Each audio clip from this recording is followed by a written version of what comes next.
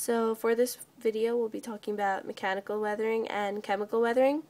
First up is chemical weathering.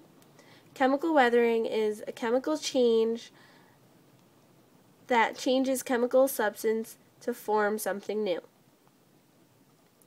The first example is a cave.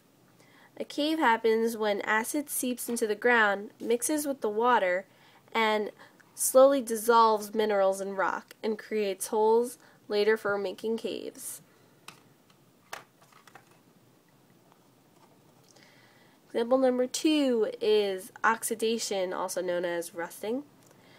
Rusting is a mixture of oxygen and iron, which then weakens the rock and allows for the rusting to occur. Okay, and this is number three, acid rain, and this picture is basically showing the results of an acid rain with the trees losing everything. But acid rain is when the water forms a more carbonic acid that allows for faster chemical weathering and it weakens the rocks and basically the whole environment. Example number four is dissolution. And dissolution is when it dissolves the rocks or minerals in water and if it's not completely dissolved it'll just cause like a space in the rock.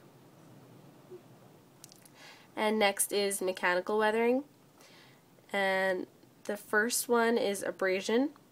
An abrasion is the movement of water and wind which exposes rocks to friction with each other causing breakage. Example number two is tree roots.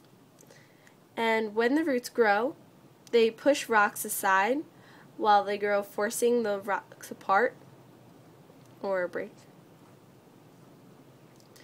Example number three is ice wedging. Ice wedging is when the water gets into the cracks of rock and then freezes and expands and again breaks the rocks apart. Example number four, digging animals. When the animals dig, they or burrow, they kick up the rocks and also scratch and claw and bite, bite them, which of course causes them to break. And now, a completely different topic are the two different types of erosion.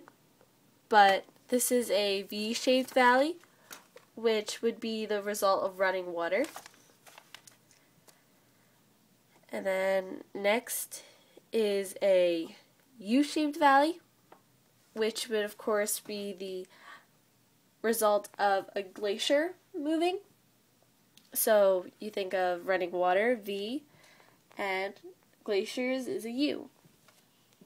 Now, for erosion, it's basically the movement of weathered